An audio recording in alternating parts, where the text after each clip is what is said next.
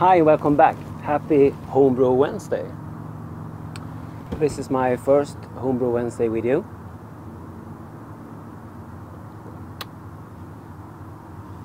And uh, the topics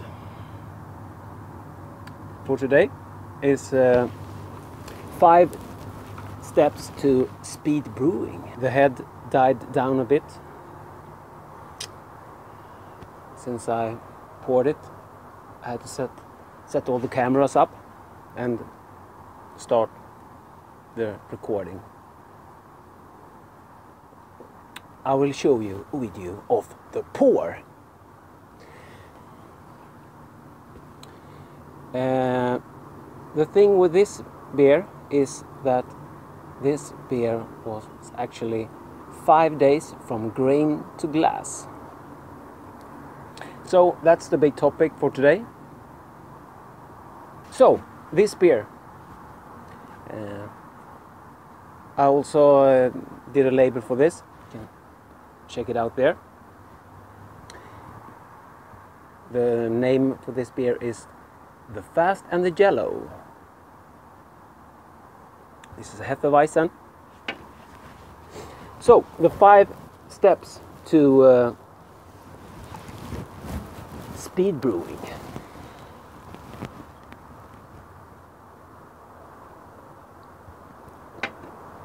Number one, beer style. I selected a beer style where the yeast has its role. So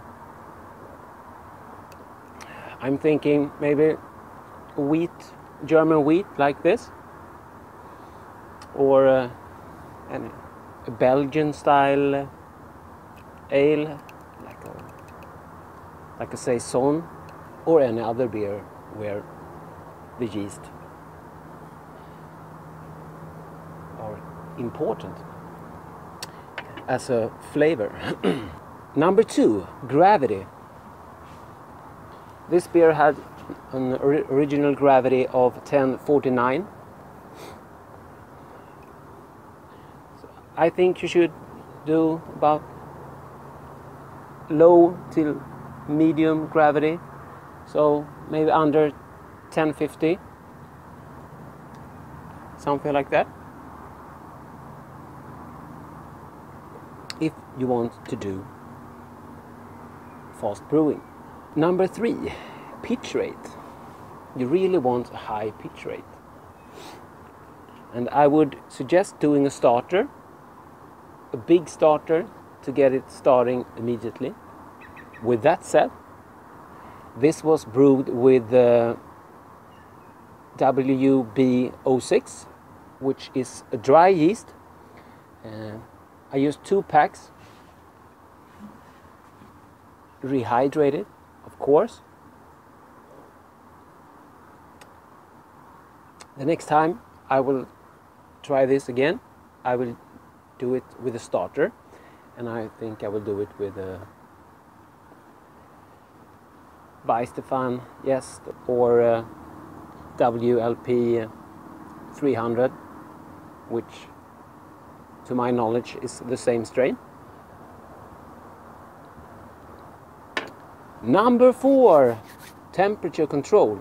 It's very important. Uh, this beer I fermented in 20 degrees Celsius until it had reached over 50% attenuation. The 20 degrees were measured on the beer.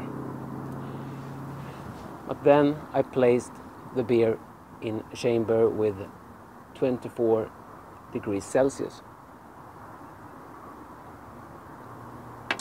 On day five, I've tasted the beer and uh, it tasted good, no off flavors. So I put the beer inside uh, my fermentation fridge and cold crashed it just to get the temperature down for kegging.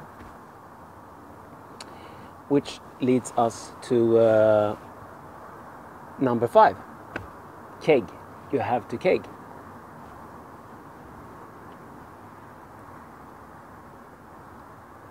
Because you have to force carbonate it. these are the five steps. You have you have to measure your uh, S, SG so you know when uh, when to put the beer warmer. This was ferment, fermented with 20 degrees Celsius to start with. Had it been another beer with another yeast, I might have done another temperature, maybe 17 or 18 degrees, something like that. Uh, so, and you also have, have to measure when uh, you hit your final gravity, so it stays the same for at least two days. And you have to taste the beer so you know that the yeast have cleaned up after itself. When you put the beer warm, this goes very fast because it's not about just producing fast beer, it's about producing great beer. And this tastes fantastic. This method, I think, comes from uh, Brülosophy, and uh, he actually got it from uh, actually small commercial brewers, if I'm if I'm correct.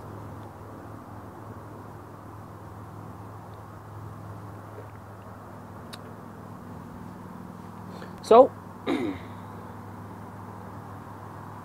that's it for this Homebrew Wednesday. The five steps. Once more, select a beer style where the yeast plays a major role. Two, gravity, low to medium gravity.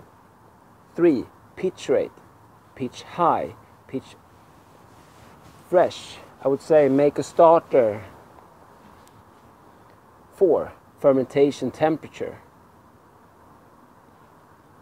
You need that uh, temperature control. And five, kegging, so you can force carbonate it. So this was uh, done uh, six days. That means you could you could actually brew a beer on uh, Sunday and drink it next Saturday, and it's a hell of a lot better than store bought. as fresh as, as it can be. I don't know if I can break this record. I will certainly try.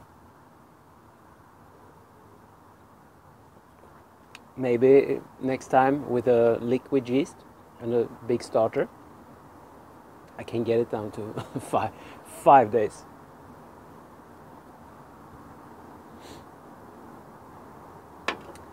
The reason for uh, actually doing this with a wheat beer was because when I'm when I first started brewing, I was told that you should, to be safe, put the beers two weeks in primary, then move it to secondary where it can stay for two weeks, something like that. That's four weeks.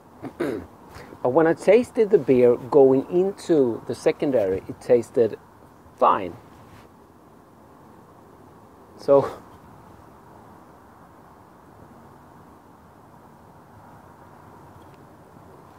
you really don't have to do that. So I usually don't do secondary anymore. Just go through primary if there's no special reason.